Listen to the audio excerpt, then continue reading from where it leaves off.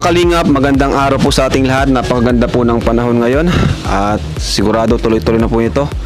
At summer na po. Yun. So ito po ang ating social media accounts. Kung may nais po kayong sabihin sa amin, message nyo lang po kami. Ito ang ating FB page. Ito naman ating Instagram account. Ayan, ngayon, dito tayo kina ah, Marian, kina Ate Marisa, Nanay Marisa. Sana umuwi na po si Marian. Nakita natin, umuwi si Marian. At ang kanyang ina, bilang ina, tinanggap siya. Dahil tayong mga ina, kahit anong sama ng ating mga anak, tatanggapin at tatanggapin natin kahit ano ang galit natin. Bakit? Sila ay nanggaling sa ating sinapupunan. Kinalinga natin sa loob ng siyam na buwan. At tayo din ay naging anak sa ating mga ina. Naranasan din nating mahalin ng ating mga ina. Kaya tayo rin po ngayon ay isang ina. Kalingain natin ang ating mga anak kahit na naliligaw ng landas.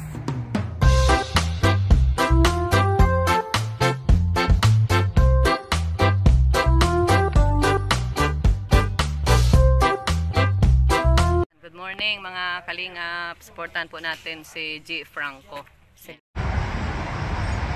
Ang pagiging isang ina ay hindi madali. Marami tayong ah, pagsubok na dada, pagdadaanan sa ating mga anak. Ganon din kaya ang nanay ni Marian. Magandang buhay mga kapatid. This is G. Franco Vlog na bumabati ng magandang buhay sa ating lahat. Saan man tayo sulok ng mundo. Trabaho? Sipag na nga talaga si tatay. Hello! Ay, ano po. Wala pa rin si Marian? Nag-uwi dito kan kanina, ay kahapon. Ano si Marian? Sabi mauwi na daw siya. Ta- Tapos ngayon, hinihintay ko nga sabi mapasok. Hindi pa rin bumalik. Hindi nagbalik. Hmm, baka na may tawag. Baka si Marian na yan. Mayang. Sino yan? Si Mayan. Iba yan? Si Marian yan? Oo. Ah, si Marian yan? Mayan. Nandito si Kuya Rab. Nandito si Kuya Rab. Magpakita ka nga. Dito kami.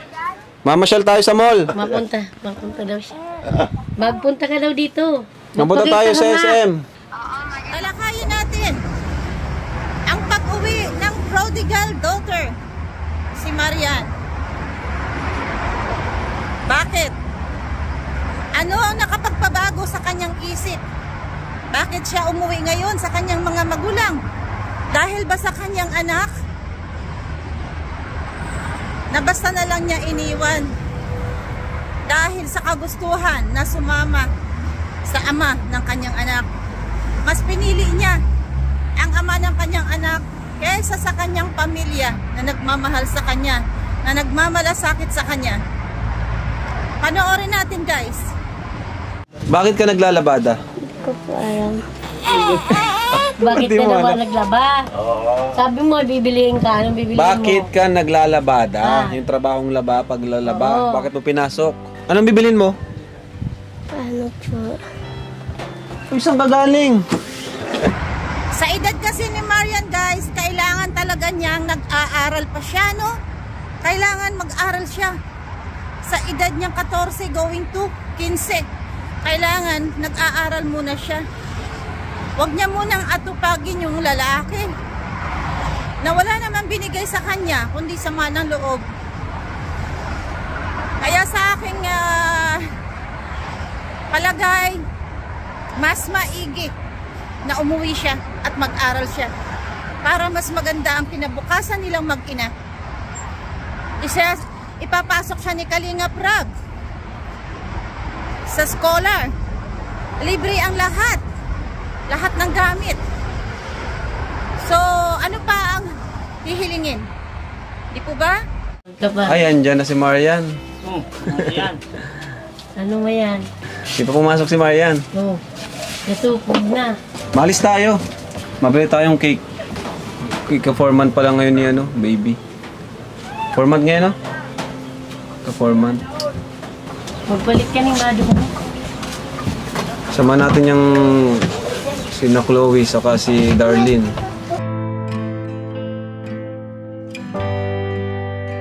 Kasama ikaw? Ted? Set. Set. Uy. Uy. Uy. Kasama ikaw?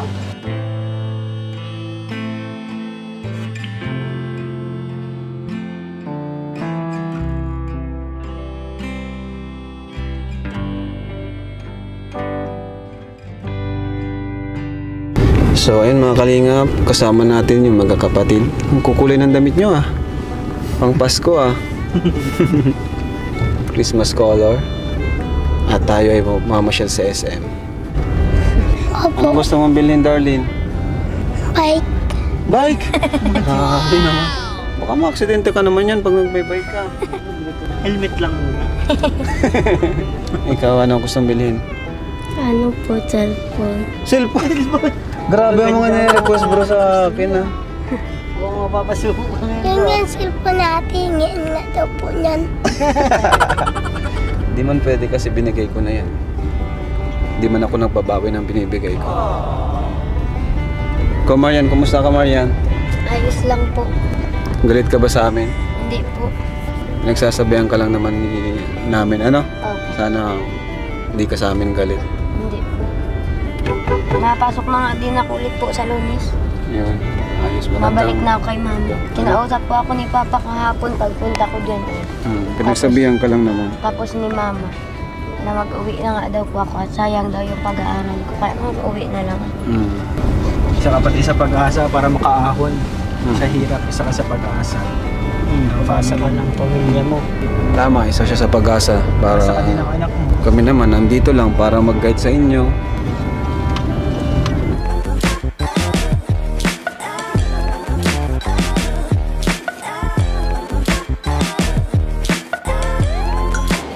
Ayos lang. Hindi man po ako ma-uwi sa tulay. Sa 4 lang ako. Okay ka naman na ngayon. Buti bumalik ka Marian, ano?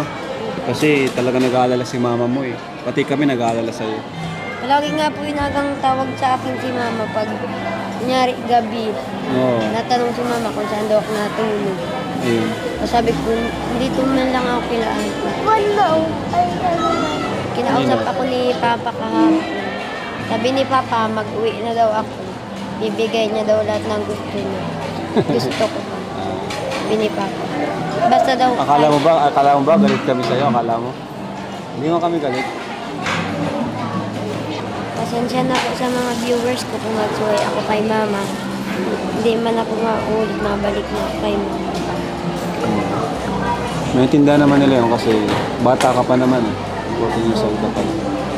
Kailangan mo talaga ng Yung nag-vlog gabay. nga po doon, yung nakaupo ako sa may tulay, sabi ko ayaw ko nga magpa-vlog at sabi ko nag binablog niyo pa po baga sila mama. Tapos nagbiglang ano na lang, nagkuha ng cellphone niya tapos nag-video yun. Sabi ko nga po, ayaw ko nga po magpa-vlog. Kaya baga po yung binablog ako, di man po ako nagang tingin. Ah. Pag, sina, na, pag natanong lang po siya, saka lang ako na, ano, nasagot. Naka, hindi man ako naharap sa camera. Ganun. Hayaan mo na. Ah, hayaan mo na yun. Pero kakatuwa naman to si Marian, kahit gano'n na may tampo, talagang ano pa rin, ano Bads? Kahit may tampo siya, loyal pa rin siya sa sa atin, no? Kung iba yun, kakalabanin na tayo, ano? Parang gano'n. Mabait si Marian, so deserve niya ng second chance na matulungan po natin. So, tayo naman po mga kalingap ay ano, lalo-lalo na po, ah, bata pa naman si Marian. So, marami rin naman sa mga viewers na nagsasabi na bigyan daw natin ng chance si Marian. Kaya, bigyan po natin, mga kalingap. At sayang po kasi ang layo naman po natin makatulong. Lalo na si Marian, may baby, tapos wala pa silang ano, maayos na bahay. Kaya, ano, um, ah, ibalik natin sa kanya. Yun ang Marian, yung tulong na nararapat. Ano po, syempre, nag-vlog naman po tayo. Ayoko naman po ng gano'n na binablog natin tapos di naman natin tutulungan. Kaya bigyan po natin ng chance sila Marian. So, nandito kami ngayon. Makain kami. Salamat po, ah, Maria Ligaspi Vlog. Thank you so much sa pag-sponsor. Thank you po. Wow! Grabe bro! Palagdag ka ng ano, empanada. Kaapat pa kamo. Okay, darling to lahat. Matiyari tayo sa ano? Halo-halo. Nakita natin, umuwi si Marian. At ang kanyang ina, bilang ina, tinanggap siya. dahil tayong mga ina kahit anong sama ng ating mga anak tatanggapin at tatanggapin natin kahit ano ang galit natin. Bakit? Sila ay nanggaling sa ating sinapupunan. Kinalinga natin sa loob ng siyam na buwan. At tayo din ay naging anak sa ating mga ina. Naranasan din nating mahalin ang ating mga ina. Kaya tayo rin po ngayon ay isang ina. Kalingain natin ang ating mga anak kahit na naliligaw ng landas. Tapos isa pa kay Darlene. Si Darlene. Malaki. Wow! Ang ganda. Ano? Parang mga ano. Gusto mo nito? Pang matanda ito. Yung pang ano bagay, pang Harry Potter. Yung pang Harry Potter. Yung bilog. Sa'yo yan? Kasi sa'yo yan? Tapos yan, ganda. Okay, square. Maliit. Salamat.